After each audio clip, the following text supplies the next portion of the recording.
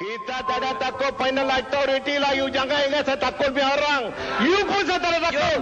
Menteri Kerja Raya menjadi alat saja kepada ha, Jabatan Perdana Menteri. Iaitu EPU. Dan tadi You mau panggil Perdana Menteri, panggil ini.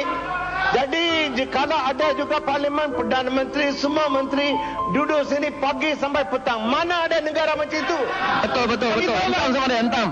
Mana ada negara? Tapi sudah rasa Mana kalah ada dapat negara. Perdana Menteri, timbalan Perdana Menteri semua duduk sampai habis. Saya tak pernah tengok lain negeri lah. Duduk memang. You tak ada tengok lain negara. Betul betul betul. Turun lebih macam You kempen. rujuk lain negara lah. You tak mau rujuk lain negara. Bila-bilanya bukan mula memasat, membantah sama kerajaan. Tak boleh itu macam. Saya belum habis lagi.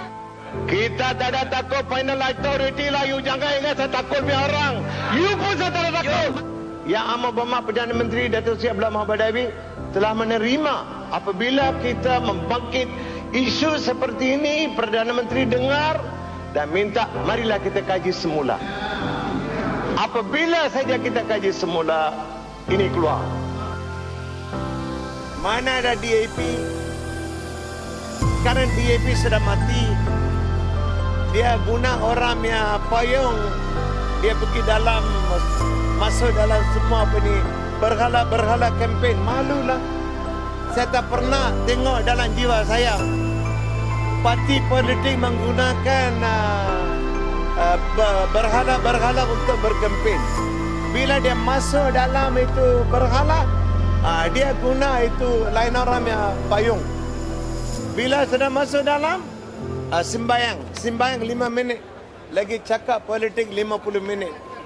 Ini sekarang ya pemimpin-pemimpin di DAP semua tak ada guna bagi pemimpin. Tidak ada polisi, tidak ada ini semuanya. Ini semua kerja orang gila lah. Itulah saya komen.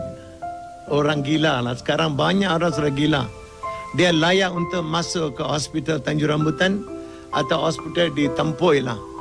Tenggara sebenar-benarnya menunaikan janjian kepada rakyat jelata.